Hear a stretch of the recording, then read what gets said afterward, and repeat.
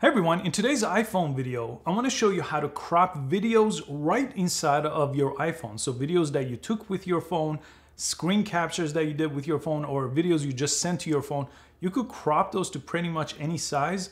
And by cropping them, you could change what platform they're meant to go on. So for example, if you want square for Instagram or if you want vertical for TikTok, or if you want horizontal for YouTube, you could do all of those to the same video using this crop technique inside of the Photos app. So let's jump into the phone so I could show you how to crop videos and how to save them on your Photos app. In order to crop any videos, we're gonna use the Photos app to view the video. So let's jump into the Photos app on our phone. And I'm just on the recent here and I have these videos that I've just downloaded from pexels.com to show you as an example. And let me go ahead and open one of these right here. And you could see this is in 16 by 9. So basically what's on YouTube. And let's say we want to make this vertical. So let's go ahead and press the edit option on top. Click that.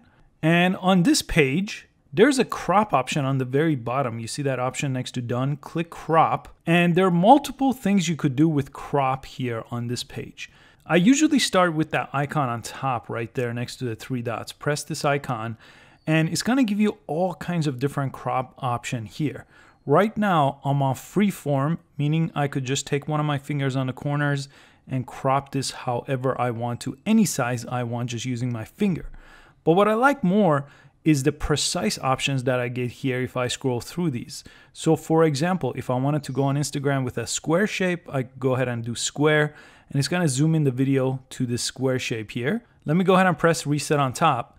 If I wanted to go to another platform like TikTok or Instagram Reels that require 9 by 16 vertical videos, I'll press this vertical video icon over here, this one right here. So as long as I'm on the original, I could press this one and you can see now I'm on vertical and I can move the video around to make sure it fits within my frame here. I still have the options for free form if I want to go ahead and reset it and do it that way. But jump into original and you basically could choose from the 16 by 9 option or the vertical option and then crop from there. You could always use your two fingers here to resize the video within your crop too. And let's say you're done, you just press done on the bottom of the page. Now it's gonna take a second to save your video and you could always revert back to the original video. Let me show you that. So if I click that video that I just cropped, I could go ahead and press edit on top one more time and you see that revert option will take me back to the original here if I just go ahead and press that. Let me show you one more thing here. You could also trim videos. So I'll select this video, I'll press edit on top one more time. And instead of the crop tool where I was before, I'm gonna press the camera icon. And this one lets you change the in point where the video starts and the out point of the video if you wanna end it a little bit sooner. So let's say I wanted the hand to start the video, so I'll just go ahead and start right there. And when the hands go away, I'm gonna end the video, so right there. Just sliding in and out that way to change your in point and the out point of your video and then press done. And then you could save it as a new clip or save the video. And it's that simple to crop and trim videos right on your phone. Thanks so much for watching the video. I hope you found it useful. Please give it a thumbs up. I post easy to follow tech videos every single day and I'll see you next time.